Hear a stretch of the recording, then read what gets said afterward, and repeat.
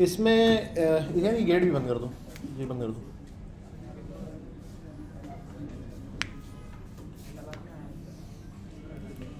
ये भी बंद कर दो यार इसको बंद कर दो। चैप्टर एट में ना वो मार्कअप्स इन्होंने बनाए हुए हैं उन मार्कअप्स का ज़िक्र है जो किसी चैप्टर में ना ग्रुप के तौर पे नहीं बन पा रहे थे उन मार्कअप्स का इसमें ज़िक्र किया गया। तो आ, जैसे आप शुरू में देखेंगे कि text chapter number two text है। तो उसमें टेक्स्ट से रिलेटेड सारी चीज़ें हैं। पैराग्राफ वगैरह हेडिंग वगैरह सब उसमें कवर किया हुआ है। ठीक है, काफ़ी सारे एलिमेंट्स उसमें कवर हैं। फिर इसी तरह जो आपके लिस्ट है, फिर लिंक्स हैं। लिंक से related external link internal link email link WhatsApp link सब उसमें कवर हुआ है। तो कुछ ऐसे मार्कअप थे जो ग्रुप नहीं बन पा रहे थे ना। ग्रुप की सूरत में नहीं हो पा रहा था कुछ उनका। तो उसको उन्होंने एक्स्ट्रा मार्कअप के तौर पे एक अलग चैप्टर में डिस्कस किया हुआ है। तो यहाँ पे ये क्या डिस्कस करने लगे? कि specifying different version of H T M L H T M L हमने तो देखा कि यार फाइव है लेटेस्ट वर्जन और वही पढ़ रहे हैं। लेकिन एच टी एम एल के कुछ डिफरेंट वर्जन भी, ज़ाहिर है पहले थे फाइव से। तो वो उनका क्या लेना देना है? अच्छा हमने कोडिंग हमेशा H T M L five में ही करनी है जो लेटेस्ट वर्जन है, लेकिन हमें जस्ट पता होना चाहिए। अच्छा identifying and group grouping elements comments meta information and iframes तो आ जाते हैं हम सबसे पहले हमारे ये एवोल्यूशन ऑफ़ एच पे। एवोल्यूशन ऑफ़ एच कुछ इस तरह से है कि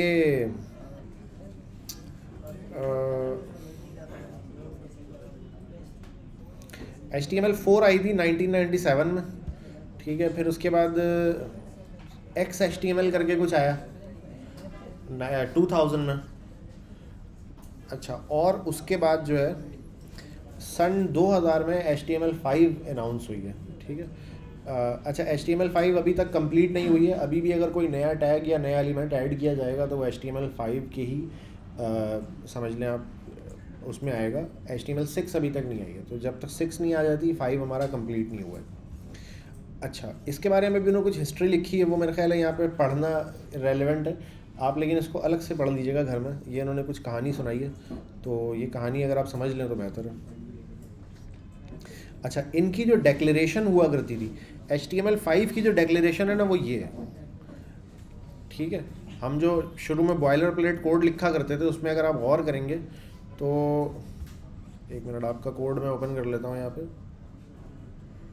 ओके बी नाइन ज़ीरो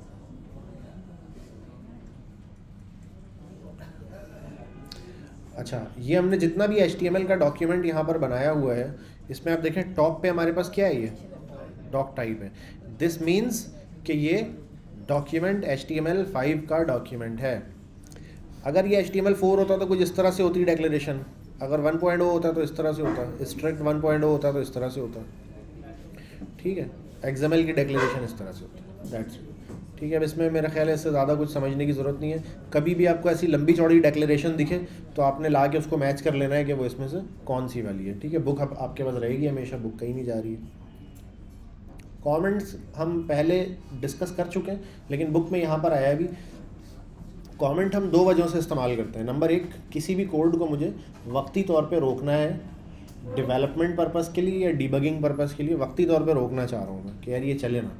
तो मैं उसको कमेंट कर देता हूँ उस कोड को एज एच नहीं पढ़ा जाता, बल्कि उसको इग्नोर कर देता है ब्राउज़र उसको स्क्रीन पर डिस्प्ले नहीं करता एज एच उसको पढ़ता ही नहीं है उस कोड को। दूसरा कमेंट्स जैसे कि नाम से ज़ाहिर है कि कुछ कमेंट्स लगाना चाह रहे हो आप, ताकि कल को आप खुद या आपका कोई फेलो डेवलपर उस कोड को जब देखे तो उसके लिए आप कोई मैसेज छोड़ना चाह रहे हैं वहाँ पे तो वो कमेंट्स के अंदर लिखते हैं, जैसा कि नाम से ज़ाहिर है, ठीक है? मेन पर्पस तो ऑब्वियसली इसका यही है कि कमेंट्स आप करते जाएँ कोड के साथ साथ, ठीक है? जिसको हम डॉक्यूमेंटेशन भी कहते हैं। जब भी आप कोई कोडिंग करते हैं, कोई प्रोजेक्ट बनाते हैं सॉफ्टवेयर का तो आपको कुछ ना कुछ डॉक्यूमेंटेशन उसकी करनी पड़ती है।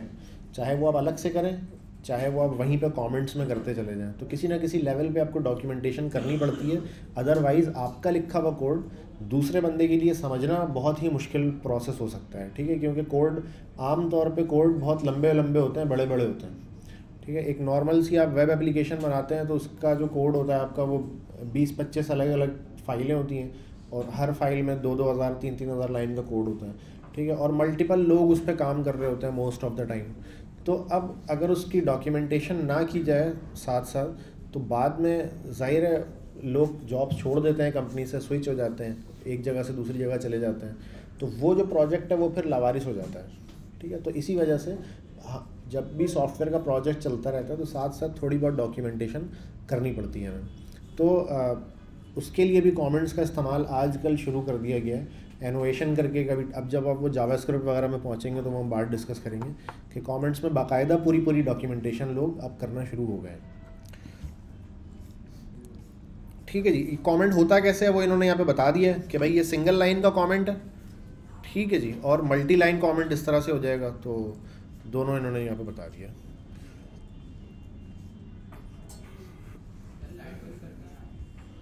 वहाँ की आ जाओ, उठ के आओ, कहाँ कहाँ पर बैठे हो? आवाज़ आई है मुझे, सिर्फ़ बंदा नहीं नज़र आया। चलो यहाँ से उठ के आ जाओ, कोई फ्रेंड से आ जाओ उठ के। तुम आ जाओ। यार, बंद कर दो लाइट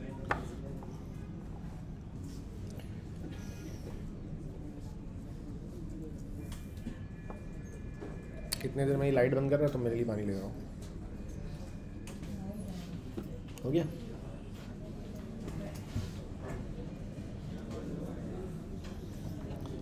कोई भी ऐसे प्रॉब्लम हुआ करे ना तो बता दिया करो। जैसे अभी तुम्हें लाइट से प्रॉब्लम हो रही थी ना बता दिया करो कोई मसला नहीं है। क्योंकि जब तक आप कंफर्टेबली यहाँ पे बैठे हुए नहीं होंगे जब तक आपको ज़ाहिर है ये एक इंटेलेक्चुअल चीज़ है। पढ़ना भी और पढ़ाना भी दोनों इंटेलेक्चुअल चीज़ है। जी।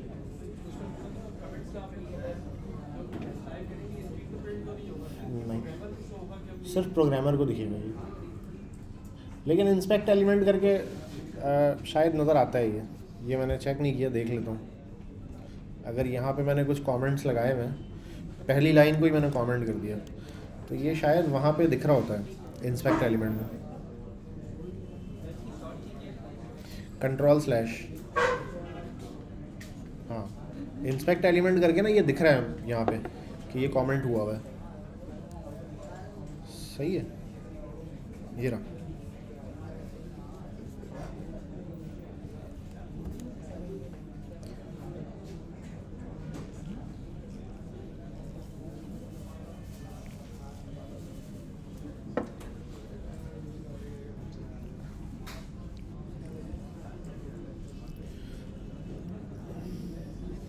अच्छा जी। उसके बाद हमारे पास है आईडी एट्रीब्यूट आईडी एट्रीब्यूट क्या होता है? आईडी एट्रीब्यूट उन एट्रीब्यूट्स में से है जो एचटीएमएल के तमाम एलिमेंट्स पे लग जाते हैं। किसी भी एलिमेंट को मुझे पूरे डॉक्यूमेंट में से पिन पॉइंट करके अगर आइडेंटिफाई करना है तो उसके लिए आईडी एट्रीब्यूट सबसे ज़्यादा यूज़फुल है। तो आईडी एट्रीब्यूट देना बहुत आसान है। इस तरह करके आप आईडी दे सकते हैं। हमने जो इससे पहले चैप्टर पढ़ा था फॉर्म उसमें आईडी का ज़िक्र आया था। ठीक है? तो वो आईडी ये चीज़ है। तो लेबल के लिए आईडी इस्तेमाल होती है और आईडी के ज़रिए किसी एलिमेंट पे स्टाइलिंग भी की जा सकती है। मैंने कहा कि यार, इस पूरे डॉक्यूमेंट में वो पैराग्राफ उठा के लाओ जिसमें, जिसकी आईडी है पुल कोट और उसके ऊपर फला कलर लगा दो, फला स्टाइलिंग लगा दो तो वो सिर्फ़ उसी पे लगेगी, किसी और पे नहीं लगेगी। तो यूनिकली आइडेंटिफाई करने के लिए किसी भी एलिमेंट को पिन पॉइंट करके आईडी का इस्तेमाल होता है। अच्छा आईडी का जो एट्रीब्यूट है, वो आप एक वक्त में एक ही एलिमेंट को दे सकते हैं। मिसाल के तौर पर पुल कोड जो मैंने यहाँ पर दे दिया ना तो अब मैं पुल कोड किसी दूसरे एलिमेंट को नहीं दे सकता। समझ रहे हो? अदरवाइज़ जब मैं आईडी बोल के कॉल करूँगा कि यार उस आईडी को उठा के लाओ तो दो दो जब होंगे तो दोनों में से कौन सा आएगा? ठीक है? तो कोई एक आएगा, दोनों नहीं आ सकते। एरर नहीं आता एच के अंदर कोई एरर नहीं होता। लेकिन वो क्या करेगा, उन दोनों में से कोई एक पकड़ लेगा, बाकी दूसरे को छोड़ देगा। वो तुम बताना, अब शुरू वाला है, आखिर वाला। करके देखना। ठीक है तो इस वजह से एक ही एलिमेंट को आप एक आईडी दे सकते हैं। अच्छा उसके अलावा जो कैपिटल पी से पुल कोट लिखा हुआ होगा, और स्मॉल पी से पुल कोट लिखा हुआ होगा। वो दो अलग अलग आईडीज़ हैं, ठीक है? केस सेंसिटिव होता है ये तो कैपिटल और स्मॉल इसमें अलग अलग है। कैपिटल सी से अगर कार लिखा हुआ है तो वो अलग है, और स्मॉल सी से अगर कार है तो अलग है। आईडी की एट्रीब्यूट के अंदर बात कर रहा हूँ मैं, ठीक है? अच्छा क्लास में भी ऐसा ही है, इसके बाद ही क्लास आ रहा है। अच्छा क्लास ऐसा एट्रीब्यूट है, बच्चों, बात नहीं, इधर देख लो। जो एक से ज़्यादा एलिमेंट पे लगाने के लिए बना गया बनाया गया है। जैसे आईडी तो है ना कि यार, एक आईडी एक ही एलिमेंट को दे सकते हैं आप। क्लास जो है वो इस चीज़ के लिए बनाया गया है कि आप एक दफ़ा क्लास बना लें। अभी क्लास बनती कैसे है सी में देखेंगे हम लोग। वेल तो आप क्या कर सकते हैं? जैसे इसमें क्लास लगाई हुई है, इसने इंपॉर्टेंट तो मैं इंपॉर्टेंट दो, तीन, चार, पाँच एलिमेंट पे लगा सकता हूँ, ठीक है? अच्छा फिर जब मैं बोलूँगा ना कि इंपॉर्टेंट वाली क्लास पे ये स्टाइलिंग अप्लाई कर दो तो उन सब पे अप्लाई हो जाएगा। तो ये दोनों तरह की चीज़ मौजूद है। अच्छा क्लास जो है वो मेनली स्टाइलिंग करने के लिए ही इस्तेमाल होती है। ठीक है क्लास के ज़रिए आप ऐसे एलिमेंट को तलाश करके भी लाते हैं, जैसे आईडी दो ना, पूरे डॉक्यूमेंट में यार फला डॉक्यूमेंट उठा के ले आओ। तो क्लास आमतौर पे स्टाइलिंग के लिए इस्तेमाल होती है कि यार फला जिस जिस पे किए क्लास लगी, उस पर स्टाइलिंग कर दो। अच्छा इसी तरीके से एक एलिमेंट पे दो क्लास भी हो सकती है। सही है। ना सिर्फ़ एक क्लास को मल्टीपल पे लगाया जा सकता है, बल्कि एक ही एलिमेंट में दो क्लासेस भी हो सकती हैं। उससे होगा क्या कि इंपॉर्टेंस पे जो स्टाइलिंग अप्लाई हुई है, वो भी इस पे लग जाएगी और एडमिटेंस पे जो है, वो भी इस पे लग जाएगी। दोनों इस पे अप्लाई हो जाएगी। ठीक है, इसका रिज़ल्ट अगर आप देखेंगे यहाँ पे तो जिस पैराग्राफ पे इंपॉर्टेंट के नाम से क्लास लगी हुई थी, वो पैराग्राफ यहाँ पे कैपिटल से शो हो रहा है। इसका मतलब है उसके ऊपर एक सीएसएस का रूल लगा हुआ है कैपिटलाइज सॉरी अपर केस ठीक है? दूसरा जो एक पैराग्राफ है, इस पर क्योंकि कोई पैरा, वो नहीं है, क्लास, कोई एट्रीब्यूट नहीं है, इसलिए ये नॉर्मल तरीके से डिस्प्ले हो रहा है, जैसे एक टेक्स्ट जैसे एक पैराग्राफ टेक्स्ट की तरह से डिस्प्ले हो जाता है। जो तीसरा वाला पैराग्राफ है, उसके ऊपर दो क्लासेस लगी हुई हैं तो इसके ऊपर एक तो कैपिटल हो गया ये अपर केस लगने की वजह से, दूसरा इस पर कलर भी शायद लगा हुआ है। तो दो अलग अलग क्लासेस लगी हुई हैं, दोनों में स्टाइलिंग जो होती है वो इस पर अप्लाई हो गई है। ठीक है? तो ये क्लास वाली बात इतनी फ़िलहाल समझते हैं। अभी आगे थोड़ी सी सी एस एस पढ़ेंगे तो मज़ीद क्लियर हो जाएगी। अच्छा उसके बाद हमारे पास है ब्लॉक लेवल एलिमेंट कुछ element H T M L के अंदर जो होते हैं वो ब्लॉक लेवल एलिमेंट होते हैं। ब्लॉक लेवल एलिमेंट हम कई दफ़ा पहले भी डिस्कस कर चुके हैं थोड़ा थोड़ा सा। यहाँ पे उसकी पूरी कहानी इन्होंने समझाई है कि वो खुद एक नई लाइन से स्टार्ट होता है। जब उसको हम अप्लाई करते हैं, जब हम उसको लगाते हैं अपने डॉक्यूमेंट में एचटीएमएल के, जैसा कि एच एक नई लाइन से स्टार्ट होता है हमेशा, और अपनी लाइन में किसी दूसरे एलिमेंट को आने नहीं देता है। ठीक है, इसी तरह पैराग्राफ है, वो भी क्या होता है, एक नए लाइन से स्टार्ट होता है और अपनी लाइन में किसी और को आने नहीं देता है। अच्छा तो इस तरह के जो एलिमेंट्स होते हैं, उनको हम ब्लॉक एलिमेंट्स कहते हैं। अच्छा ब्लॉक लेवल एलिमेंट्स को होना भी ऐसा ही चाहिए, उसका जो बिहेवियर है डिफ़ॉल्ट वो असूलन होना भी ऐसे ही चाहिए। क्योंकि जब आप हेडिंग लगाते हैं तो हेडिंग वाली लाइन में फिर आप कोई चीज़, दूसरी चीज़ नहीं लिखते। पैराग्राफ नई लाइन से शुरू करते हैं, ठीक है? तो असूलन हेडिंग वाली लाइन में कोई दूसरी चीज़ आनी भी नहीं चाहिए। तो ये कोई मतलब ऐसी अलग बात भी नहीं है। इसको होना ही ऐसा चाहिए था। तो उसको एक नाम दिया हुआ यहाँ पे block element inline element कौन से होते हैं? जो उसको खुद नए लाइन से स्टार्ट नहीं होते और अपनी लाइन में अगर कोई और भी उसके आ रहा हो तो उसको भी आने देते हैं। तंग नहीं करते उसको। ठीक है? जैसा कि इमेजेस इन लाइन एलिमेंट होता है। ठीक है? जैसे कि बी का जो एलिमेंट है बी ओपन बी क्लोज और बीच में जो चीज़ होती है उसको बोल्ड कर देता है वो। लेकिन वो नए लाइन में नहीं जाता। अगर पैराग्राफ के दरमियान में तो वहीं पे ही रहता है वो। तो उसको असूलन ऐसा ही होना चाहिए। इन लाइन ही होना चाहिए उसको। तो इसीलिए वो इन लाइन है। अच्छा कोई अगर एलिमेंट ब्लॉक है तो उसको आप सी एस एस के ज़रिए इन लाइन बना सकते हैं ज़रूरत पड़ने पर और कोई एलिमेंट अगर इन लाइन है तो उसको आप ब्लॉक एलिमेंट बना सकते हैं ज़रूरत पड़ने पर सही है? तो ये उसको आप चेंज कर सकते हैं, लेकिन आमतौर पर चेंज करने की ज़रूरत बहुत कम पड़ती है, क्योंकि जो ब्लॉक बनाया गया, वो आमतौर पर ब्लॉक पे ही इस्तेमाल हो रहा होता है। अच्छा group text and element in a block. अच्छा ये एक नया मार्कअप हम देख रहे हैं, जिसका नाम है डिव इन्होंने असल में क्या किया हुआ है कि एक डिव ओपन किया है और एक डिव क्लोज किया है, और उसके अंदर एक इमेज है और एक लिस्ट है। तो सम टाइम आपको ऐसी ज़रूरत पड़ सकती है कि आपको सिर्फ़ एक स्क्वायर बॉक्स बनाना है। एच के डॉक्यूमेंट के ऊपर सिर्फ़ एक स्क्वायर बॉक्स बनाना है, आपको कोई हेडिंग कोई चीज़ नहीं लिखनी उसके ऊपर। ठीक है? तो एक तो तरीका ये है कि आप पैराग्राफ ले लें। और पैराग्राफ को अंदर उसके कुछ भी ना लिखें और हाइट और विथ दे दें उसको। और बैकग्राउंड कलर उसको लगा दें कुछ ना कुछ। तो ऐसा लगेगा स्क्वायर बॉक्स है। लेकिन उसके लिए डिव नाम का एक स्पेशल एलिमेंट है। अगर आपको कोई शेप्स बनानी होती हैं सर्कल बनाना होता है या स्क्वायर बनाना होता है तो उसके लिए आप डिव का इस्तेमाल करते हैं। और एक तो ये हो गया यूज़ केस डिव का। दूसरा यूज़ केस इसका ये है कि कंटेनर के तौर पे हम इसको इस्तेमाल करते हैं। मिसाल के तौर पे आपको क्या करना है? अपने पेज को बीच से दो हिस्सों में करना है। तो आप एक डिव बनाएँगे, वो लेफ़्ट हो जाएगा और दूसरा डिव बनाएँगे, वो राइट हो जाएगा। तो एज अ कंटेनर भी आप इसको इस्तेमाल कर रहे होते हैं, ठीक है? ज़ाहिर है, इसके लिए मैं पैराग्राफ का एलिमेंट इस्तेमाल नहीं कर सकता, क्योंकि पैराग्राफ के अंदर तो टेक्स्ट एक्सपेक्टेड होता है। अगर मैं पैराग्राफ बना दूँ और फिर उसके अंदर एक मज़ीद पैराग्राफ बना दूँ तो वो शायद इतना मेक सेंस नहीं होगा। तो उसके लिए डिव अच्छा डिव स्टैंड्स फॉर डिविजन्स ठीक है, कि आपने एक डिवीज़न बनाना है या डिवाइड करना है स्क्रीन को दो जगहों पे तो उसके लिए भी आप तो यहाँ पे इन्होंने जो किया हुआ है, वो कंटेनर के तौर पे इस्तेमाल किया हुआ है कि एक डिव है और उसके अंदर दो कंटेनर दो एलिमेंट्स हैं। अब मिसाल के तौर पर मैं ये, अब कंटेनर के अंदर क्योंकि ये है तो मैं कंटेनर पर अगर बॉर्डर लगाऊँगा तो वो उस पूरे दोनों के दरमियान एक बॉर्डर आ जाएगा। अब ये वो करके भी देखेंगे हम थोड़ी देर में। अभी सी एस अगला चैप्टर हमारा। तो डिव जो है वो बहुत ही ज़्यादा कसरत से इस्तेमाल होने वाला एलिमेंट है, क्योंकि जब आप स्टाइलिंग करते हैं तो आपको बहुत सारे पार्टीशंस, बहुत सारे पोर्शंस बनाने पड़ते हैं, बहुत सारे डिविजन्स बनाने पड़ते हैं और उसके अंदर अपने एलिमेंट्स को प्लेस करना पड़ता है। इमेजिन करें आपके एक सर्च बॉक्स आप बना रहे हैं, ठीक है? तो सर्च बॉक्स में आप क्या करते हैं? एक ऐसे स्क्वायर या रेक्टेंगल बनाते हैं पहले और उसके अंदर बॉक्स और एक बटन हो सकता है। इस तरह की सिचुएशन हो सकती है आपके पास। तो उसमें डिव इस्तेमाल होता है। अच्छा डिव के बाद हमारे पास है स्पैन स्पैन जो है, वो बिल्कुल ऐसा ही होता है जैसा डिव है।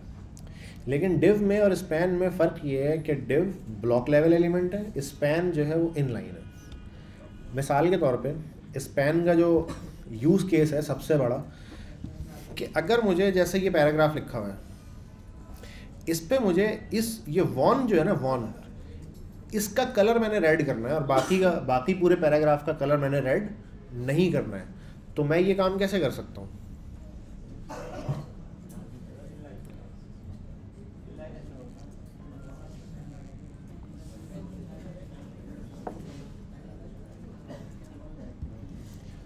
जो स्टाइलिंग होती है ना, वो हमेशा मार्कअप पे अप्लाई होती है। सही है? स्टाइलिंग हमेशा किस पे होती है? मार्कअप पे अप्लाई होती है। ये टेक्स्ट जो है ना दिस इज़ नथिंग इसको मैं टारगेट कर ही नहीं सकता सी एस एस के ज़रिए। तो या तो मेरा मार्कअप है पैराग्राफ इस पर लगेगा स्टाइल अच्छा पैराग्राफ के अंदर कोई दूसरा मार्कअप तो है नहीं तो मैं स्टाइल इस वॉन को दे ही नहीं सकता। तो मुझे क्या करना होगा, इस वॉन को अगर मैं एक बोल्ड के टैग में रैप कर दूँ, अगर इमेजिन करें कि मैं इसको बोल्ड यहाँ पे ओपन करूँ इस जगह पे और यहाँ पे बोल्ड को क्लोज कर दूँ, और उस बोल्ड को मैं क्या दे दूँ अब? क्योंकि बोल्ड एक मार्कअप है, उसको मैं स्टाइलिंग दे सकता हूँ। मैं कहूँ मैं कहूँ, यार, ये जो पैराग्राफ के अंदर ये बोल्ड का टैग है ना, इसका कलर रेड कर दो तो वो हो जाएगा फिर।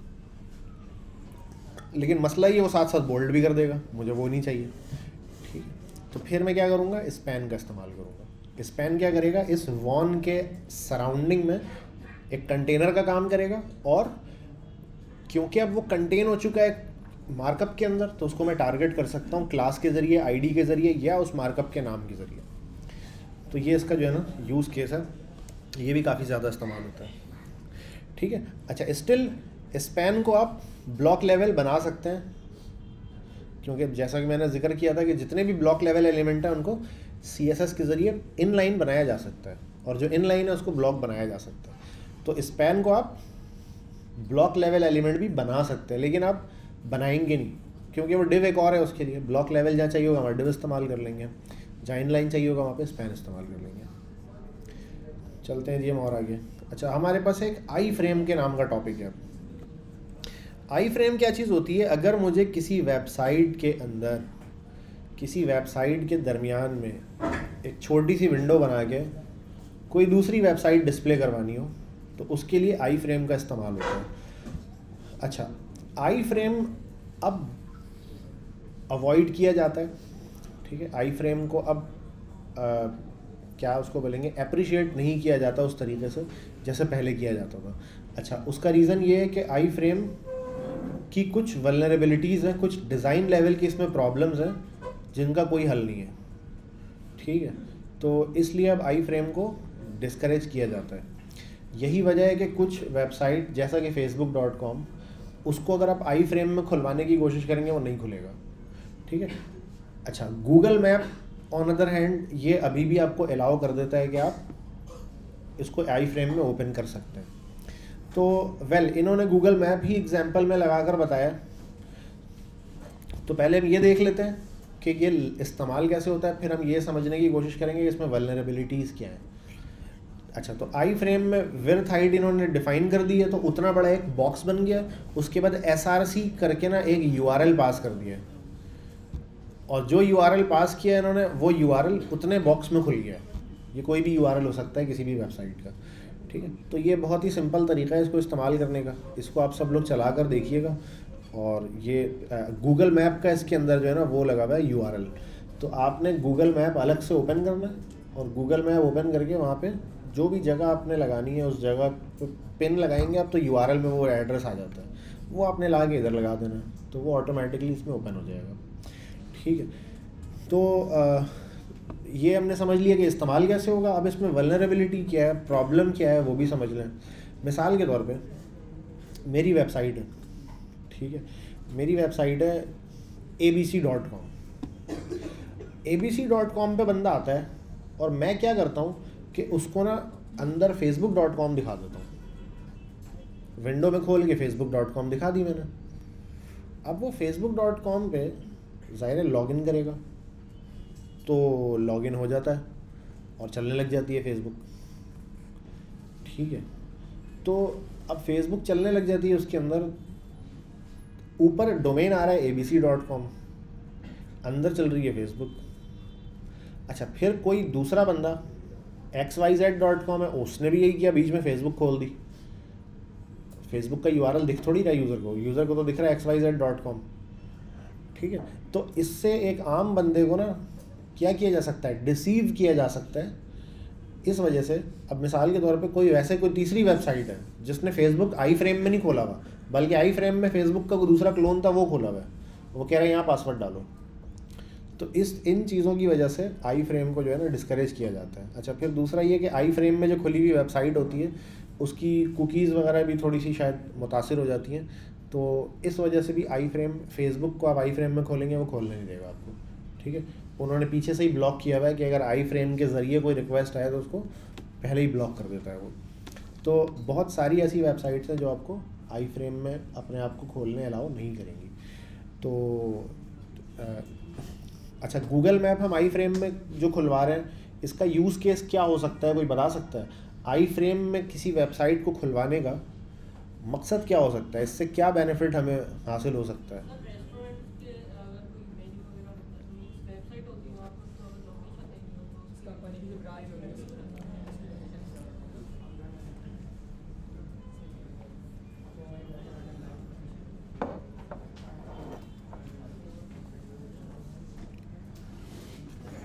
इन्होंने तो गूगल मैप की एग्ज़ाम्पल देके समझाया ना।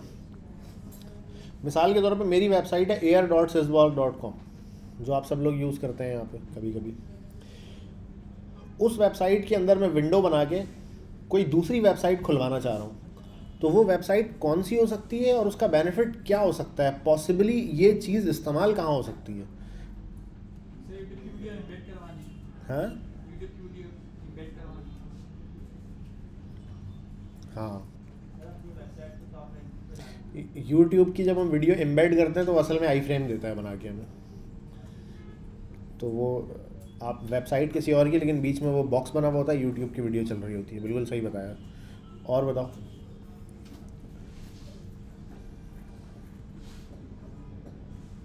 उस पर यूट्यूब का नाम भी लिखा हो रहा है तो क्लिक करते हैं तो एक्चुअल वेबसाइट पे लेके भी चले जाता है वो। और कोई use case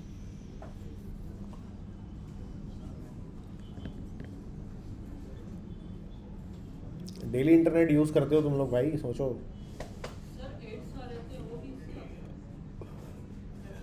जो आ, बहुत अच्छा है इन्होंने बोला कि जो एड्स जो लगे हुए होते हैं क्या वो भी किसी दूसरी वेबसाइट का आई फ्रेम होते हैं?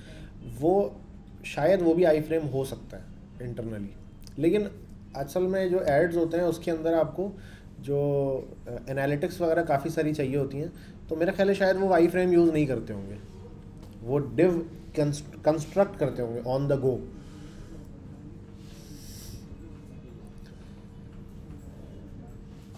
सोचो भाई, क्या यूज़ केस हो सकता है इसका?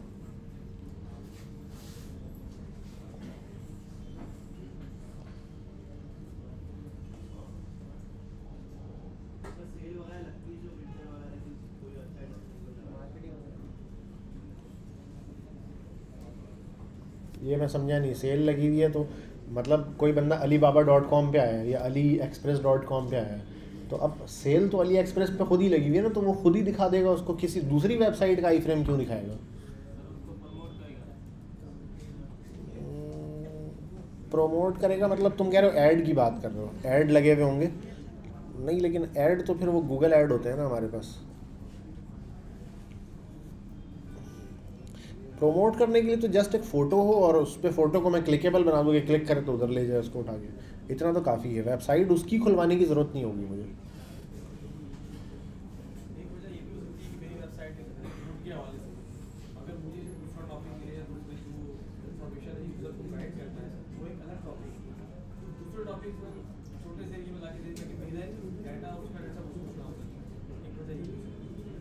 सही है। अच्छा जवाब दिया सब लोगों ने।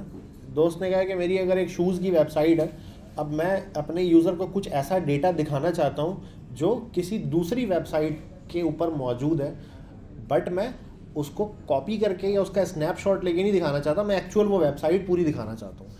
मिसाल के तौर पर रेडिट का आपने देखा होगा, बहुत सारी जगहों पे लिंक आ रहा होता है कि यार ये रेडिट के ऊपर ये डिस्कशन हुई हुई है, हमारे शूज़ की लोगों ने तारीफ़ की हुई है रेडिट के ऊपर। या सम टाइम आपने देखा होगा फेसबुक की पोस्ट होती है जो जो फेसबुक की पोस्ट के कमेंट्स एम्बेड हो जाते हैं। फेसबुक खुद अलाउ करता है कि जस्ट मेरे कमेंट्स आप पब्लिक पोस्ट होनी चाहिए और कमेंट उसके एम्बेड हो जाते हैं। तो आप सम टाइम किसी प्रोडक्ट के ऊपर जाते हैं तो उस प्रोडक्ट के लास्ट में ना फेसबुक के कमेंट्स दिख रहे होते हैं कि यार लोगों ने ये इस इस तरह कमेंट किया हुआ है कि यार इतना अच्छा शूज़ है आपका। पोस्ट दिख रही होती है और साथ में कमेंट्स दिख रहे होते हैं। उस पर कुछ हो नहीं पाता जस्ट वो रीड ऑनली होता है। लेकिन वो एक एक्चुअल पोस्ट यहाँ पे आ रही होती है और ऑथेंटिसिटी को बता रहा होता है। इसी तरह जो आपका जो ट्विटर है ट्विटर की पोस्ट भी एम्बेड हो जाती है यूट्यूब की वीडियो एम्बेड हो जाती है कि भाई यूट्यूब पे किसी यूट्यूबर ने अगर तारीफ़ की है तो मैं लाके अपने शूज़ के नीचे उसको छोटा सा एम्बेड करके दिखा दूँ क्लिक करे प्ले कर ले, और एक्चुअल वेबसाइट पे भी चला जाए। ठीक है? गूगल मैप भी इसी की एक एग्जांपल है कि गूगल मैप वालों ने मैप तैयार किया हुआ है। तो बजाय इसके कि मैं गूगल मैप का स्नैपशॉट लूँ, मैं उसको आई फ्रेम में खुलवा देता हूँ यहाँ ठीक है? ताकि उन्हीं की वेबसाइट छोटी सी खुल जाए और हमारा नक्शा उसमें दिख रहा हो। और बंदा क्लिक करके एक्चुअल वेबसाइट में भी जा सके।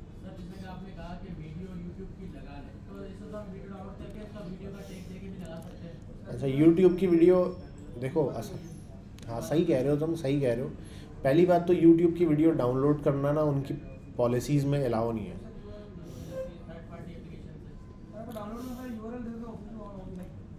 ऐसा नहीं है ना। या ये इसने भी अच्छी बात की कि वेबसाइट का लोड भी तो बढ़ेगा। आपके पास अगर स्ट्रीमिंग आपके खुद की वेबसाइट से हो रही है तो वो रिसोर्स भी तो आपकी यूज़ हो रही हैं। लेकिन वैसे मैं एक बात कह रहा हूँ यूट्यूब की वीडियो जो है ना, वो डाउनलोड करना अलाउ नहीं है यूट्यूब की तरफ़ से। ठीक है? यही वजह है कि कुछ ऐप्स थी ऐप स्टोर पे, जो क्या करती थी, आप उस पर यूट्यूब के नाम लिखते थे वीडियो आती थी क्लिक करता था डाउनलोड हो जाती थी। तो उन ऐप्स को इन्होंने हटा दिया प्ले स्टोर से ना। वो तो वेब वेब एप्लीकेशन है वेब एप्लीकेशन हाँ नहीं, मगर वो ऑफिशियली वो आपकी, आपको कोई वो कर सकता है रिपोर्ट कर सकता है अगर आप डाउनलोड करते हैं उसको। तो पहली बात तो ये। दूसरी बात ये कि यूट्यूब की अगर वीडियो किसी ने मेरे शूज़ की तारीफ़ की है किसी यूट्यूबर ने तो एक्चुअल में वो तारीफ़ की बात नहीं है। बात ये कि उस उस फला यूट्यूबर ने तारीफ़ की है। बात तो ये है ना असल। तो मैं अगर उसकी वीडियो डाउनलोड भी कर लेता हूँ और मैं अपने पास एम्बेड कर देता हूँ तो शायद मेरा यूज़र भरोसा ना कर पाए कि ये वीडियो असली और वाकई उसी यूट्यूबर ने बनाई है। मे भी हो सकता है उसमें उसका फेस ना हो उस वीडियो के अंदर। तो ये तो ऑथेंटिसिटी कैसे होगी कि ये उसी ने बनाई है? मुझे उसका नाम लिखना पड़ेगा बड़ा बड़ा सा। उसको एक्सप्लेन करना पड़ेगा एलेबरेट करना पड़ेगा। ऑन अदर एंड अगर मैंने लिंक लगाया हुआ तो बंदा ऑटोमेटिक देख लेगा अच्छा यार, ये तो इसी का चैनल है। समझ रहे हो? तो मुझे ये चीज़ें प्रूव नहीं करनी पड़ेंगी। वो चीज़ अपने आप को खुद ऑथेंटिकेट कर रही होगी।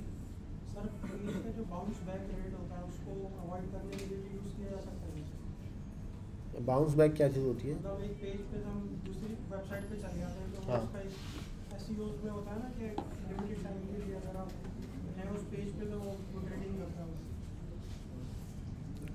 जो नहीं मैं ये समझ नहीं समझ गया मैं बाउंस रेट तुम किस चीज़ को कह रहे हो कि यूज़र आपकी वेबसाइट पे आता है लेकिन वापस चला जाता है। इंगेज नहीं होता तो उसको आप बाउंस रेट कह रहे हैं। इंगेजमेंट के लिए तो बहुत सारी चीज़ें हैं कलर्स वलर्स हैं सी एस एस है, स्टाइलिंग असल में है ही पूरी इंगेजमेंट का चक्कर है पूरा। एनिमेशन वगैरह इंगेजमेंट का चक्कर है। दूसरा ये कि बाउंस रेट जो होता है वो, अगर आपने गलत तरीके से एस e किया हुआ है ना तो उसमें बाउंस रेट बहुत ज़्यादा बढ़ जाता है। सही है, ये वैसे अभी टॉपिक नहीं है, लेकिन वैसे ही मैं बता रहा हूँ। अगर गलत तरीके से एस e करने से क्या होता है ट्रैफ़िक तो बहुत आती है, लेकिन क्या होता है? थैंक यू बाउंस रेट बढ़ जाता है। कुछ लोग ऐसे आपको दिखेंगे इंटरनेट पे, वो बोलेंगे, जैसे अभी कुछ, कौन सा अभी है कुछ एक सॉन्ग वायरल हुआ है जो? तो वो लोग बड़ा सर्च कर रहे हैं इंटरनेट पे। तो आपकी शूज़ बेचने वाली वेबसाइट है तो आपने वो कीवर्ड अपने पर लगा दिए तो आपकी वेबसाइट ज़ाहिर है उसके सर्च रिज़ल्ट में आने लग जाती है। समझ रहे हो? वो कहते हैं, यार इंडेक्स ऊपर जा रहा है सर्च में ऊपर आ रही है। वो ऊपर तो आ गई है, लेकिन मसला ये है कि बंदा वो शूज़ की वेबसाइट थोड़ी ढूंढ रहा था। वो तो वायरल वीडियो ढूंढ रहा था। उसने वैसे ही क्लिक किया, उसने बोला शायद पता नहीं स्टोर वालों ने शूज़ के साथ वो वीडियो फ्री लगाई हुई है। तो वो तो जाएगा ना वापस, उसको शूज़ ख़रीदना ही नहीं है जब तो। तो एस सही तरीके से करना रेलिवेंट क्योंकि मैं भी बंदा शूज़ ढूंढ रहा हूँ, लेकिन वो वाले शूज़ नहीं ढूंढ रहा हूँ जो आपके पास लगे हुए हैं। सही है। मिसाल के तौर पे आप अगर बनाते हैं कि माउंटेन शूज़ बनाते हैं आप, या स्पोर्ट्स शूज़ बनाते हैं क्रिकेट वाले तो आपको फिर उसी हिसाब से एस करना चाहिए कि जो बंदा क्रिकेट वाले शूज़ ढूंढ रहा हो ना, उसी को ही दिखे वो। अगर कोई बंदा कोई दूसरे फॉर्मल शूज़ ढूंढ रहा है, उसको आपकी वेबसाइट नज़र ना आए। समझ रहे हो? क्योंकि फॉर्मल शूज़ ढूंढ रहा है, आपकी वेबसाइट में आएगा तो वापस ही जाना है उसमें उसके काम का थोड़ी है वो। तो जी आई फ्रेम हमने ये देखा कि हमने जब क्या करना होता है, किसी दूसरे वेबसाइट पर मौजूद डेटा उसी सूरत में दिखाना होता है। जैसे हम फेसबुक के कमेंट्स की बात करें तो वो चेंज होते हैं ओवर टाइम तो जैसे जैसे वहाँ चेंज होंगे, वैसे यहाँ भी चेंज होंगे। ट्विटर की जो पोस्ट होती है, उसमें नीचे रीट्वीट्स वगैरह कमेंट्स वगैरह आ रहे होते हैं। एम्बेड करते हैं एज इट इज़ आता है। स्नैपशॉट लेके लगाने से वो तो स्टेटिक हो जाएगा। मिसाल के तौर पे मैंने जब एम्बेड किया तो उसमें 2000 लाइक थे। कल को 20000 लाइक हो गए। तो मेरे पास वो स्नैपशॉट में तो नहीं दिखेगा वो। एम्बेड करने से मुझे वो जितने लाइक्स होंगे वो दिख रहे होंगे। तो लाइव अपडेट हो रहा होगा वो छोटी सी विंडो में, वो डेटा एक्चुअल वेबसाइट खुल के दिख रही होगी। तो ये हमारा आई फ्रेम का सबसे बड़ा बेनिफिट है। और आई फ्रेम के अंदर जो है ना, कुछ एट्रीब्यूट्स हैं। स्क्रॉलिंग स्क्रॉलिंग अगर आप लगा देते हैं इसके अंदर, जैसे इन्होंने क्या किया हुआ है स्क्रॉलिंग को नो किया हुआ है। ज़ाहिर है, जब छोटी विंडो में आपकी वेबसाइट खुलेगी तो वेबसाइट तो बड़ी होती है, लंबाई में भी और चौड़ाई में भी बड़ी होती है। तो उसमें क्या आ जाएगा? स्क्रॉल बार बना हुआ जाएगा। तो आप उसको कर देंगे नो तो वो स्क्रॉल बार गायब हो जाएगा। सही है। तो सम टाइम आपको स्क्रॉल बार हो सकता है, आपको चाहिए हो तो आप उसको यस कर देंगे। सम टाइम नहीं चाहिए हो तो आप नो कर देंगे। अच्छा इसके सराउंडिंग में ना एक बारीक सा बॉर्डर भी बना हुआ आता है, जैसे टेबल पे बॉर्डर होता है ना इस तरह तो उसको भी आप नो कर सकते हैं। तो ये कुछ इस तरह के एट्रीब्यूट्स का ज़िक्र हो रहा है यहाँ पे। सीमलेस के बारे में कह रहे हैं कि एक नया एट्रीब्यूट है can be applied to an iframe where scroll bars are not desired the seamless attribute like some new H T M L attribute that not does not need a value will often see this this this seamless older browser ठीक है? ये कह रहा है seamless भी एक property हो सकती है कि जहाँ पे आप ये तो चाहते हैं कि स्क्रॉल बार नज़र ना आए, लेकिन अगर वो स्क्रॉल करे तो वो स्क्रॉल हो भी जाए सही है तो इस तरह की चीज़ें भी इसमें हो सकती हैं। सीमलेस के बारे में ये कह रहे हैं, हर ब्राउज़र में ये सपोर्टेड नहीं है, ठीक है? तो जब एस e की बात चल रही थी तो एस e का ये मेटा टैग भी यहाँ पे नज़र आ गया हमें। इंफॉर्मेशन अबाउट योर पेज हम जैसा कि मेटा डाटा कहते हैं ना तो कोई बता सकता है मेटा डाटा क्या मतलब है? अक्सर सुनते हो ना ये वर्ड मेटा डाटा कोई बता सकता है इसका क्या मतलब है मेटा डाटा का? सोचो। जी।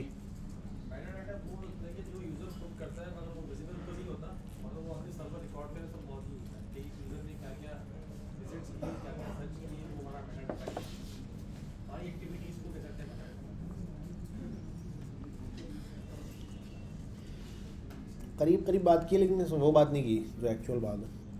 डेटा का जो कलेक्शन होता है उसको मेटा डेटा वो जो खुद एक डेटा बनता है कलेक्शन के बाद उसको मेटा नहीं तो जब ये भी डेटा है, वो भी डेटा है तो कौन से डेटा को मेटा डेटा बोल रहे हैं, कौन से को नॉर्मल डेटा बोल रहे हैं? हाँ? वो, ये ब्रेन स्ट्रोमिंग के क्वेश्चन है, इसमें सही गलत नहीं है कोई। आप अपना ओपिनियन दे सकते हैं गूगल करके भी देख सकते हैं साथ साथ गूगल में लिखो मेटा डाटा का क्या मतलब है? पूरे? वर्ल्ड पूरे वर्ल्ड का तो नहीं ना। हम तो एचटीएमएल डॉक्यूमेंट में अभी मेटा डाटा देखेंगे क्या है। हाँ भाई, सोचो। क्या है मेटा डाटा नाम तो अक्सर सुना होगा जगह जगह लिखा हुआ होता है मेटा डाटा ना। कभी सोचा नहीं लेकिन कि ये क्या होता है? कभी गूगल नहीं किया? क्यूरियोसिटी नहीं हुई कभी कि इसका क्या मतलब होता है? देखो मेटा डाटा वो चीज़ होती है कि किसी डेटा के बारे में डेटा मिसाल के तौर पे एक एम पी थ्री सॉन्ग है एम पी थ्री फ़ाइल है तो वो एक डेटा है।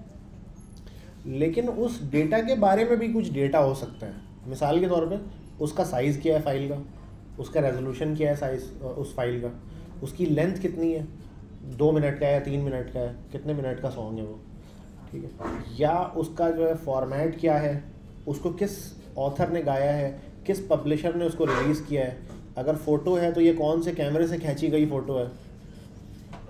ठीक है तो इस तरह का जो डेटा होता है, उसको हम मेटा डाटा कहते हैं। और ऑब्वियसली वो मेटा डाटा यूज़र को नज़र नहीं आता है। आप जैसे आप कोई सॉन्ग डाउनलोड करते हैं प्ले करते हैं, नज़र नहीं आएगा आपको। लेकिन जब आप राइट क्लिक करके उसकी प्रॉपर्टीज़ में या गेट इन्फो में या उसके मेटा डाटा में जब जाते हैं आप तो वहाँ पे आपको वो सारी चीज़ें नज़र आ रही होती हैं। ठीक है, मिसाल के तौर पे मेरे पास यहाँ पे अगर कोई फ़ाइल पड़ी हुई है तो मैं उसका मेटा डाटा देखने की कोशिश करता हूँ। ये मैं गया मूवीज़ में और एक ये मेरे पास सीरीज़ पड़ी हुई है कोई। राइट क्लिक किया मैंने, इस पर गेट इन्फो का बटन दबाया। तो शायद मुझे यहाँ पे कुछ मेटा डाटा इसका नज़र आया।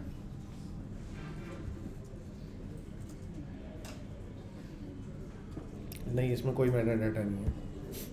पायरेटेड फाइलों में मेटा डाटा नहीं होता है सर इमेज में वो सर शायरी की किताबों हाँ शायरी की किताबों अच्छा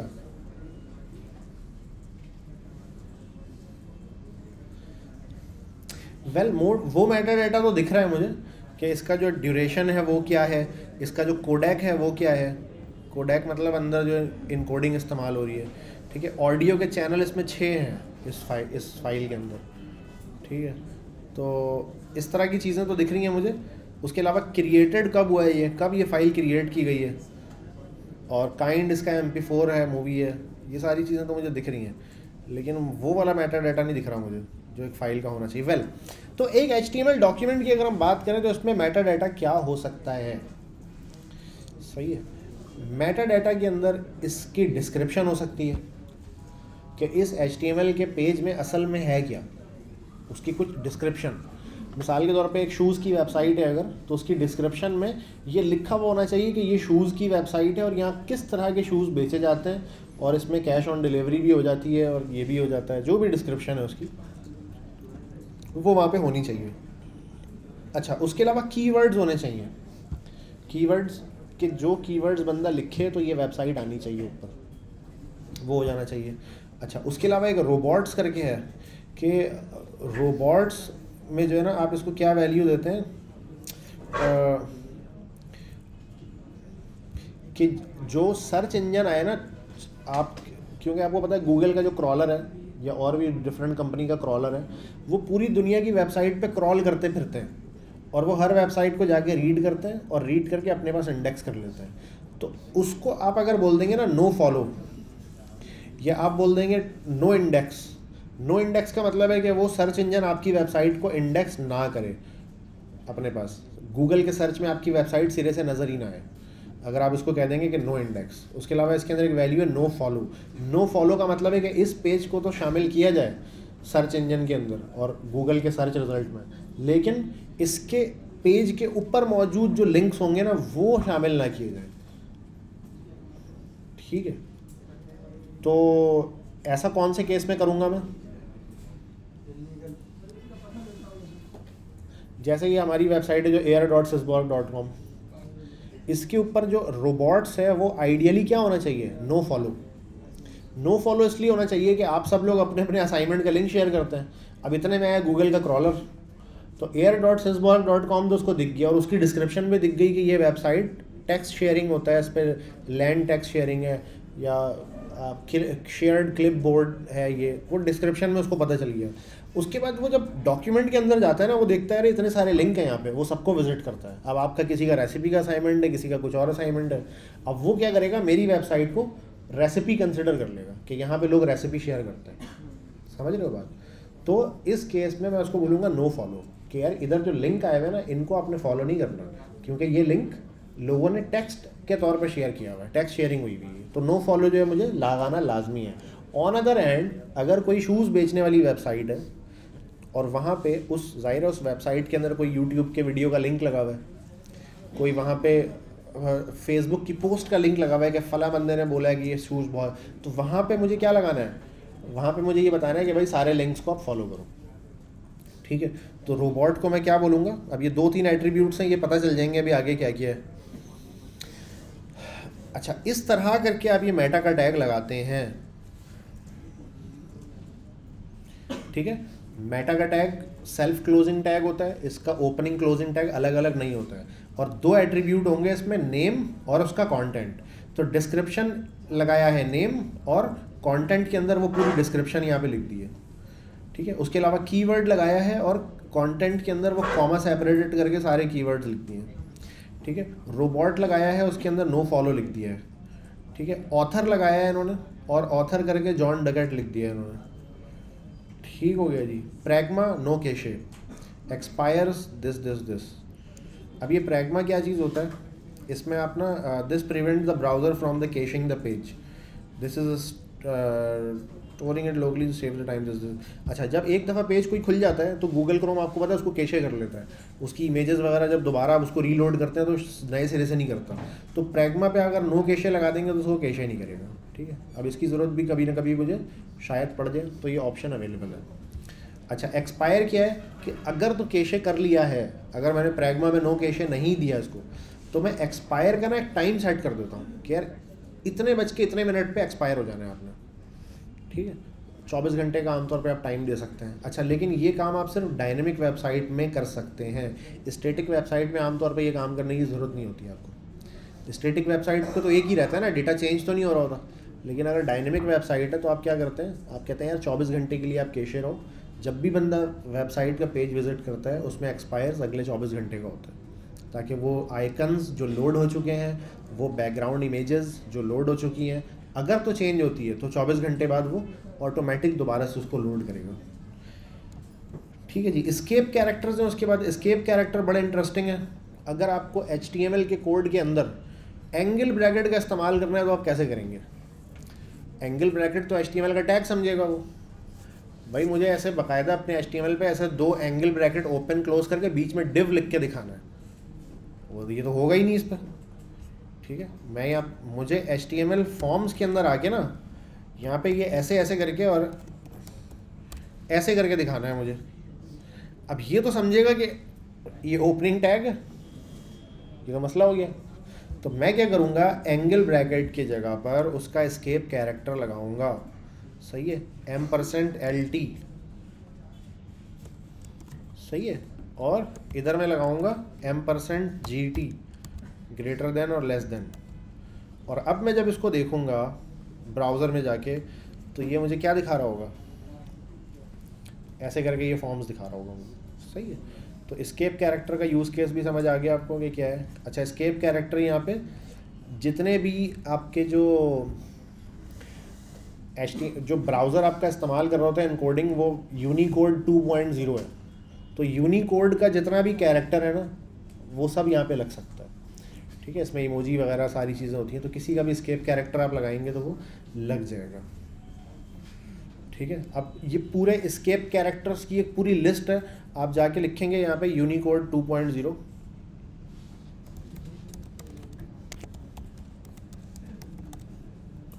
चार्ट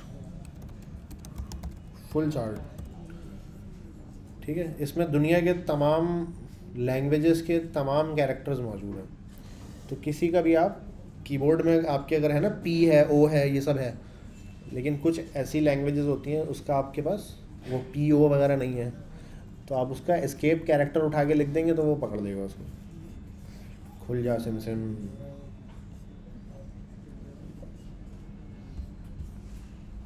ऐसी खुल जाए आज की ज़िंदगी में।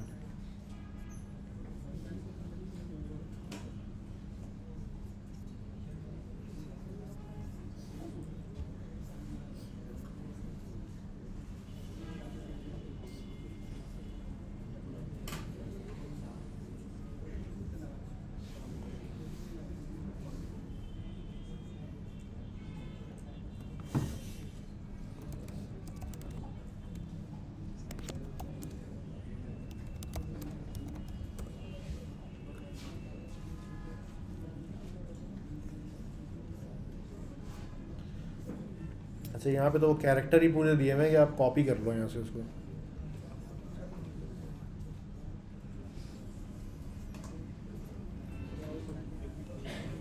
भाई द वे ये मैंने कभी आई एम वंडरिंग कि एच टी एम एल क्या यूनिकोड टू पॉइंट ज़ीरो ही इस्तेमाल करता है।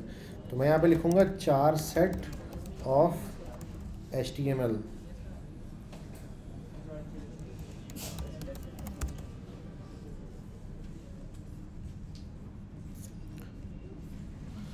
ये मैंने एक अलग से गूगल किया है कि कौन सा कैरेक्टर साइट इस्तेमाल करता है। मुझे तो ऐसा लगा यूनिकोड 2.0 लेकिन आई थिंक ऐसा नहीं है।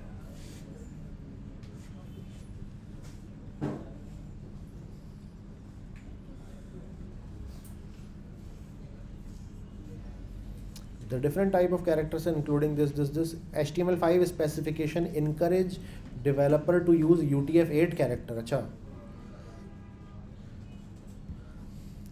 और a character can be one से फोर बाइट लॉन्ग लेकिन यार यू टी एफ़ एट का जो कैरेक्टर होता है वो तो एक बाइट से ज़्यादा का होता ही नहीं है। तो ये चार बाइट तक कैसे हो सकता है?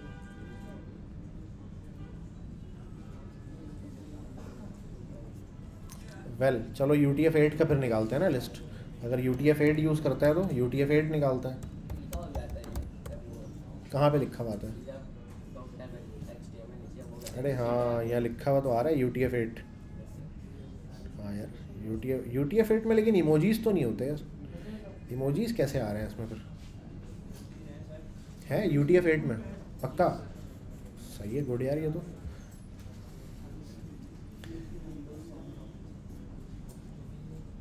अच्छा ये देखो, इसके ना स्केप कैरेक्टर साथ साथ आ रहा है। U plus zero zero six nine यहाँ पे ना आप अगर गौर करेंगे तो यहाँ पे ना दो तरह के वो आ रहे हैं। एक तो आ रहा है ये एम परसेंट जी टी और एम परसेंट एल टी और एक आ रहा है नंबर के साथ एक। M percent hash one sixty three तो ये वाला जो हैश है ना, यहाँ पे जो लिखा हुआ है, जैसे यू प्लस क्या है ये? सिक्स सेवन है। तो मैं इसको लगाने की कोशिश करता हूँ एच टी एम एल पर मैं यहाँ पे आके लगाऊँगा ऐसे। अच्छा इन्होंने कैसे बताया हुआ है?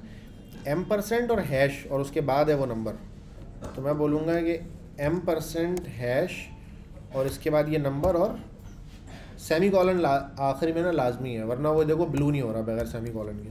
तो अब यहाँ पे जी लिखा हुआ आ जाना चाहिए। अगर मैंने गलत नहीं लिखा है तो। सी लिखा हुआ आ रहा है। सी क्यों लिखा हुआ आ रहा है भाई? यहाँ तो मैंने सिक्स सेवन लिखा है। Zero zero six seven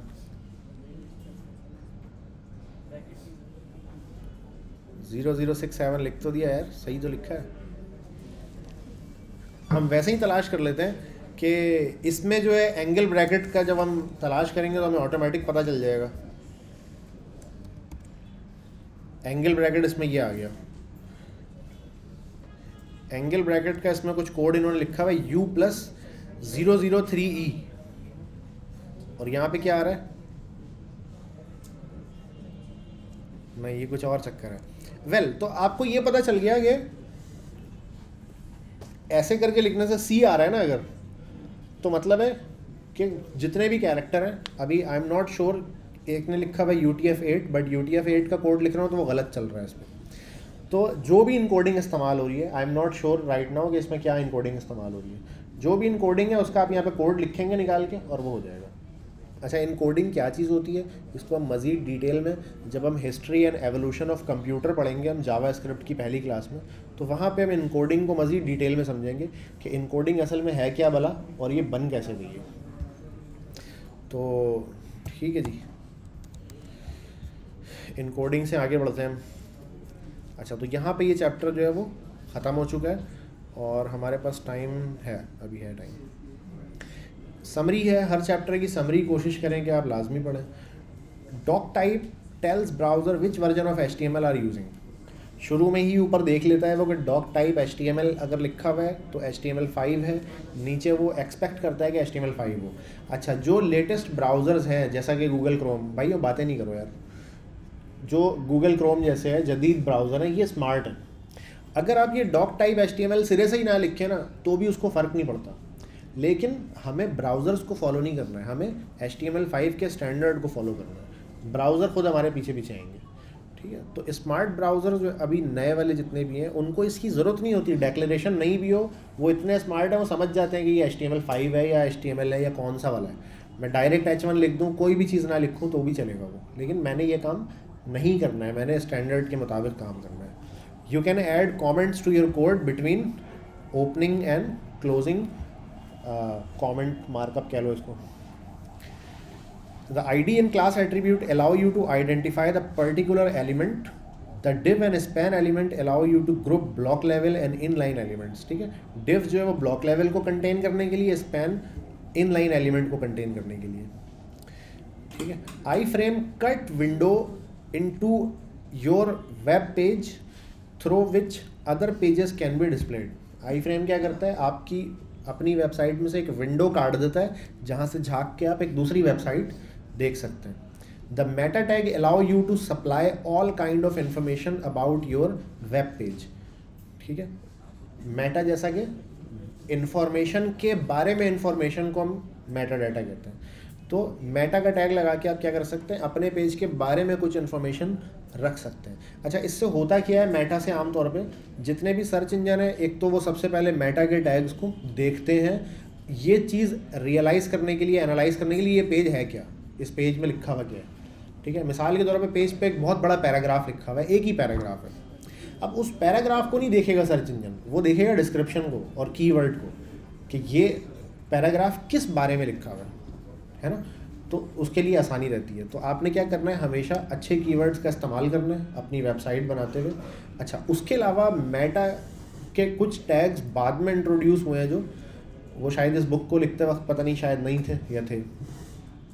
WhatsApp पे जाके आप जब लिखते हैं एयर डॉट सिसबॉल डॉट कॉम लिखते हैं और सेंड का बटन दबाते हैं तो थोड़ी देर में क्या होता है, एक प्रीव्यू आ जाता है उस वेबसाइट का।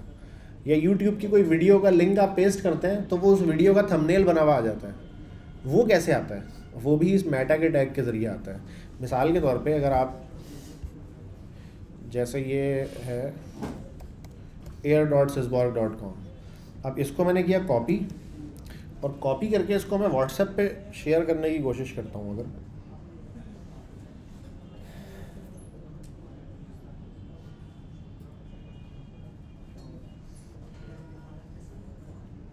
व्हाट्सएप पे मैं इसको शेयर करने की कोशिश करता हूँ अगर। खुल जा सिम सिम।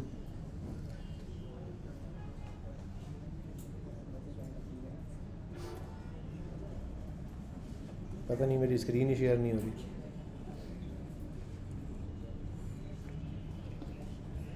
सेम वाईफाई पे ही हूँ ना मैं।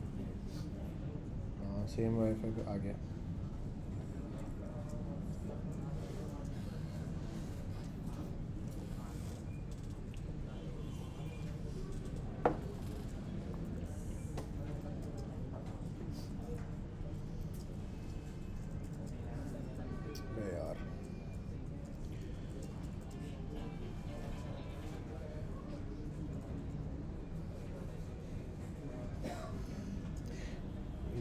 लिखा एयर डॉट सिसबर्ग डॉट कॉम तो जैसे ही सेंड का बटन दबाने से पहले ही ना एक प्रीव्यू आ गया, छोटा सा। और मैंने सेंड किया तो ये इस तरह से देखो प्रीव्यू बना हुआ रहा है पूरा। ये वाला जो आइटम है, ये भी किससे आता है? मेटा के टैग से आता है। अच्छा ये फेसबुक वगैरह जितने भी सोशल मीडिया के प्लेटफॉर्म्स है, सब पे ये काम करता है इसी तरह। अब ये मैं आपको दिखा देता हूँ, इसके लिए मेटा टैग कौन सा लगा हुआ होता है। राइट क्लिक किया मैंने व्यू पेज सोर्स पे चला गया। और व्यू पेज सोर्स पे जाने के बाद ना ये आप देख रहे हैं? सोशल मीडिया शेयरिंग टैग्स अब इसमें ना प्रॉपर्टी और कंटेंट करके ऐसे है O G colon type O G colon title ठीक है? ये इमेज का देखो यू आर एल यहाँ पर लगा हुआ है। सिसबॉर्ग dot com slash images slash सिसबॉर्ग logo dot JPEG ठीक है? जो उसके मतलब क्लिकेबल यू आर एल है वो यहाँ पर आ रहा है। उसका जो साइट का नाम है वो एयर बाई सिसबॉर्ग लिखा हुआ आ रहा है। तो एग्जैक्टली exactly यही चीज़ आपको जब व्हाट्सएप पे जब भी कोई लिंक पेस्ट करते हैं तो व्हाट्सएप एक आपकी वेबसाइट को रिक्वेस्ट करता है और ये वाले टैग्स माँगता है उससे कि मुझे दो ये टैग्स और इसको वो अपने तौर पे डिस्प्ले करता है अपने हिसाब से। ठीक है? तो फेसबुक ट्विटर व्हाट्सएप सब पे ये यूज़फुल रहता है। जैसे लिंकड के ऊपर या फेसबुक के ऊपर अगर कोई मेरी वेबसाइट का लिंक पेस्ट करेगा और शेयर का बटन दबाएगा तो जैसे ही शेयर करेगा वो बड़ा सा सिजमॉर्क का लोगो आ जाएगा। जैसे यूट्यूब की वीडियो लिखते हैं शेयर करते हैं तो बड़ा सा थंबनेल बना हुआ आ जाता है नीचे पूरा टाइटल आ जाता है। तो ये इसी के ज़रिए आ रहा होता है। सर ये जो कोड ये वाला हाँ हाँ बिल्कुल। लेकिन मसला ये है कि अब उसको अगर मैं ये वाला कॉपी करके ना ये वाला कॉपी करके अगर मैं अभी जो मेरे पास डॉक्यूमेंट बना हुआ है उसमें पेस्ट कर दूँगा तो वो टेस्ट नहीं हो पाएगा। क्योंकि जब तक वो होस्ट नहीं हो जाती वेबसाइट ये काम ही नहीं करेगा। समझ रहे हो? तो ये होस्ट हुई हुई वेबसाइट है हाँ। अगर आपका सवाल ये है कि क्या इसको मैं एज इट इज़ यूज़ कर सकता हूँ? हाँ इसको आप एज इट इज़ यूज़ कर सकते हैं। अच्छा इसी तरीके से ये एस e के कुछ टैग्स लगे हुए हैं। टाइटल है डिस्क्रिप्शन है, और रोबोट्स को मैंने बताया कि भाई इंडेक्स करना है, लेकिन नो फॉलो करना है। इसमें वो नहीं लगे हुए टैग्स नहीं लगे हुए। वो भी शायद कहीं नीचे नीचे लगे हुए होंगे शायद। ठीक है? ऐसी यो कोई ढंग से इस पर हुई भी नहीं है actually this app provides a new way to sharing your text and your file over the internet best and improved alternative of air for share सही है? एयर फॉर शेयर के साथ मैंने इसको रिलेट भी कर लिया। अब हम जाके देखते हैं कि शेयर्ड क्लिप बोर्ड लिखने से क्या मेरी वेबसाइट आती है? नहीं आती है। आएगी तो सही वैसे कहीं अंदर जाके वो। हाँ अगर मैं शेयर्ड क्लिप बोर्ड के साथ सिसबॉर्ग लिख देता हूँ तो फिर आ जाती है।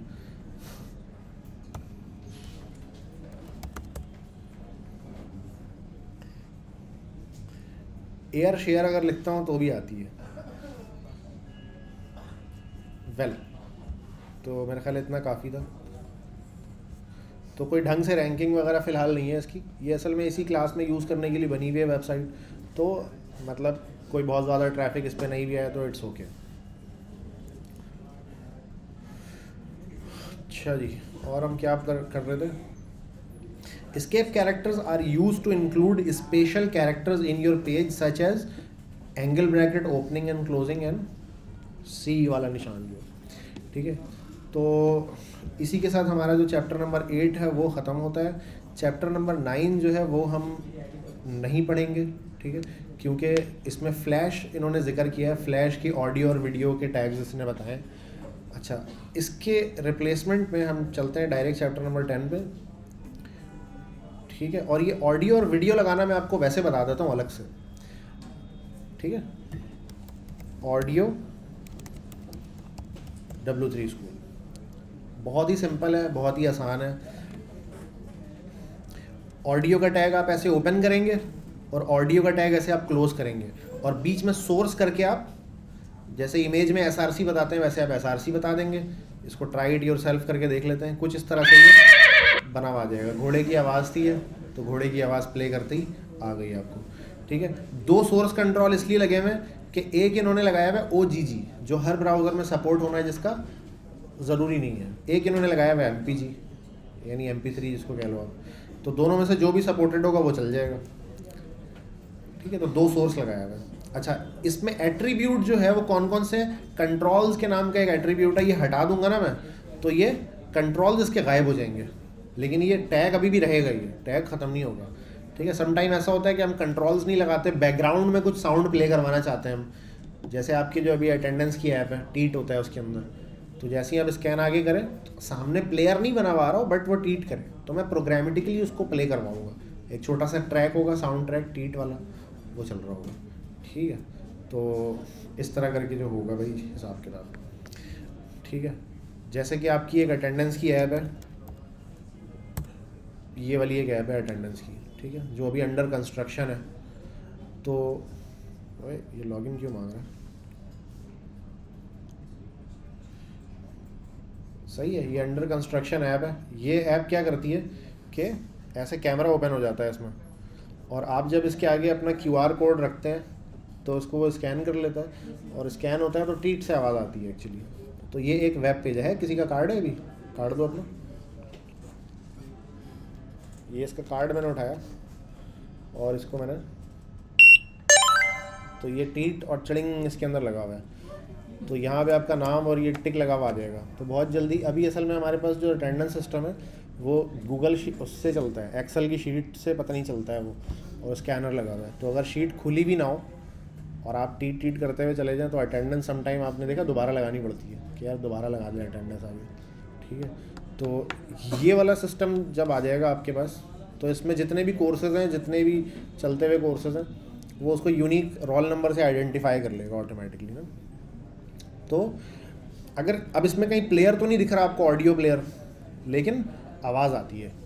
तो वो प्रोग्रामेटिकली क्या होता है, पीछे से प्ले होता है, इसमें ऑडियो का टैग लगा हुआ है बिना कंट्रोल्स के। अच्छा ऑडियो का ये समझ आ गया। इसमें जितने भी एट्रीब्यूट्स होते हैं, वो यहाँ पे नीचे इन्होंने ज़िक्र किया हुआ है।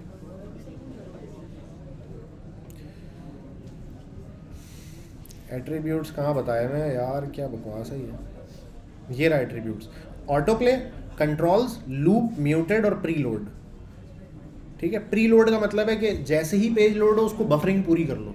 अगर प्री लोड नहीं लगाते हैं आप तो वो अपने हिसाब से उसको डाउनलोड करेगा. जब आप प्ले करेंगे तो फिर करेगा. मैं, मिसाल के तौर पर तीन घंटे की ऑडियो है.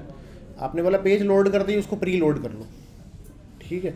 तो वो क्या करेगा? पहले उसको चलाना शुरू कर देगा. तो बैंडविड्थ काफ़ी ज़्यादा आपका वो इस्तेमाल करेगा. ज़रूरी नहीं है कि हर बंदा उस ऑडियो को प्ले करे.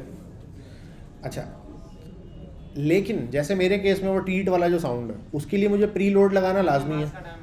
भेजता हूँ उसके लिए मुझे प्री लोड लगाना लाजमी है क्योंकि मैं ये चाहता हूँ कि जब बंदा स्कैन करे ना तो स्कैन करने के बाद उसको बफरिंग ना करना लग जाए वो ऑडियो पे। पहले से बफर करके टीट डाउनलोड करके रख ले। जैसे ही बंदा आगे करे, वो उसको प्ले करे। टीट से आवाज़ आए दैट्स इट तो मेरे केस में मुझे प्री लोड लगाना ज़रूरी है। तो डिपेंडिंग ऑन योर केस आप इसको ट्रू या फॉल्स कर सकते हैं। म्यूटेड का मतलब ये है कि वो क्या म्यूट हुआ वो पहले से? ठीक है? या साउंड खुला हुआ अच्छा लूप का मतलब है कि क्या जब वो ख़त्म हो तो दोबारा से शुरू से चल जाए खुद ही? तो ट्रू करेंगे आप तो वो लूप में चलता रहेगा, वो रुकेगा कभी भी नहीं। ख़त्म होगा, फिर चल जाएगा। कंट्रोल्स आप देख चुके हैं। कंट्रोल्स रखने या हटाने। ऑटो प्ले जो है वो एक ऐसी प्रॉपर्टी है जिसको गूगल क्रोम ने अब डिस, वो कर दिया डिस्करेज कर दिया कि भाई ऑटो प्ले नहीं होगा ना ऑडियो ना वीडियो सही है। क्यों? उसका रीज़न ये है कि जैसे ही मैंने वेब पेज खोला और पीछे से कोई चड़िंग पड़िंग म्यूज़िक बजने लग गया, समझ रहे हो ना? ठीक है? या कोई भी वाहियात किस्म का साउंड चल गया, अब मैं किसी लाइब्रेरी में खामोश वाली जगह पे बैठा हुआ हूँ तो वो सबके लिए इनकन्वीनियंस का सबब बनता है। ठीक है? और अगर साउंड वो कोई वाहियाती साउंड है, बिल्कुल ही तो एम्बेरसमेंट का सबब भी बन सकता है वो। ठीक है ना? वो चला था ना बीच में व्हाट्सएप पे ब्रेकिंग न्यूज़ और जैसे ही आप क्लिक करते थे तो वो कुछ और शुरू हो जाता था। है ना? तो उस तरह की कोई चीज़ ना हो जाए, इसकी वजह से गूगल क्रोम ने इस चीज़ को डिस्करेज कर दिया है। अच्छा वीडियो में ऑटो प्ले स्टिल चल जाता है। वीडियो का टैग भी हम पढ़ेंगे, लेकिन उसके लिए म्यूटेड का ट्रू होना ज़रूरी है। ऑटो प्ले हो जाएगा, लेकिन म्यूट होना चाहिए। आवाज़ नहीं। सही है जी। तो ऑटो प्ले जो है, इस वजह से बंद कर दिया गया। अब हम आगे आ जाते हैं वीडियो के ऊपर। वीडियो वीडियो वीडियो का टैग सही है H T M L five में वीडियो का टैग भी बिल्कुल सेम इसी तरह है, जैसे ऑडियो का हुआ करता था। सोर्स दो अदद है। एक में ओजीजी दिया हुआ है, एक में एम दिया हुआ है। ठीक हो गया। उसके अलावा जो इसके अंदर एट्रीब्यूट्स हैं वो ये सारे हैं। Autoplay controls height loop muted ये सब वही है। पोस्टर इसके अंदर एक नया है। पोस्टर मीन्स थंबनेल आप पोस्टर करके जो यूआरएल देंगे फ़ोटो की, वो जब तक प्ले नहीं कर देता बंदा वो फ़ोटो दिखती रहेगी। ठीक है, जैसे यूट्यूब पे दिखता है। प्रीलोड भी इसके अंदर है। एस आर सी है, विरता, ये सारा जाना पहचाना फॉर्मेट्स अच्छा तो यहाँ पे आपके ये ऑडियो और वीडियो भी क्या हो गया कंप्लीट हो गया। ये ट्राई इट योर सेल्फ करके ज़रा एक वीडियो को चला के देख लेते हैं। इस तरह से कुछ ये आपको दिख रहा होगा। और आप देखें, जैसे ही पेज लोड हुआ है, इसने इसको 12 सेकंड की वीडियो थी, पूरा लोड नहीं किया है, आधा लोड किया है इसने। जब मैं प्ले करूँगा तो क्या करेगा? फिर इसको ये, फिर पूरा लोड करेगा। लेकिन अगर इमेजिन करें, मैं इस पर लगा दूँ प्री लोड तो अब ये क्या करना चाहिए? शुरू में ही पूरा वो लोड कर लेगा। देखो पूरा लोड कर लिया इसने। ठीक है? प्री लोड हटा देता हूँ मैं और अब मैं रन करता हूँ तो। नहीं, वो एक्चुअली अब तो ब्राउज़र में वो कैशे हो ही चुका है ना, एक बार लोड हो गया। तो खैर प्री लोड की वजह से क्या होता है वो? शुरू में ही पूरा कर लेता है, वो भी हमने करके देख लिया। अभी आप सब लोग नमाज़ पढ़ने चले जाएँ और फिर वापस आके हम क्या करते हैं, ये introduction to C S S को ज़रा सा हम देखते हैं कि क्या चीज़ है। ये